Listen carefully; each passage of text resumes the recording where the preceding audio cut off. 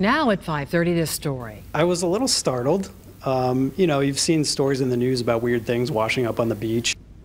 It is a mystery on the Connecticut shoreline that's getting a lot of attention. What exactly is this thing on the beach? He's got some choppers. Yeah, we posted the pictures on our Facebook page and shared them more than 500 times, and hundreds of you commented about what this might be. Well, Channel 3 New London Bureau Chief Kevin Hogan is live tonight with the mobile newsroom in Old Lyme to help solve this monster mystery. Hi, Kevin.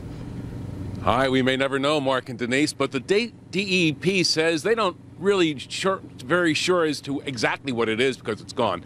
Uh, but uh, Ryan Lee, who stumbled across this animal carcass on the beach on Monday, says he called it the Montauk Monster because back in 2008, a carcass of an animal washed up on the beach in Montauk, New York.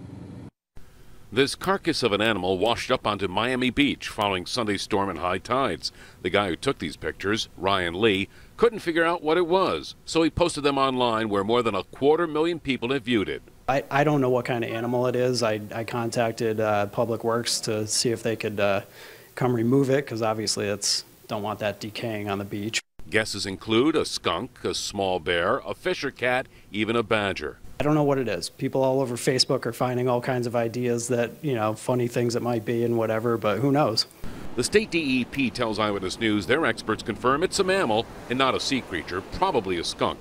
The local public works crew already took the Montauk monster away for good.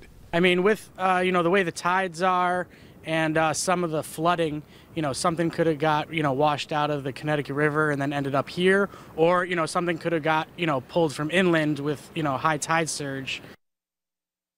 Well, Old Lyme Public Works is pretty sure it's a skunk. They got rid of it, so we'll never know. Live the mobile newsroom in Old Lyme, Kevin Hogan, Channel 3, Eyewitness News.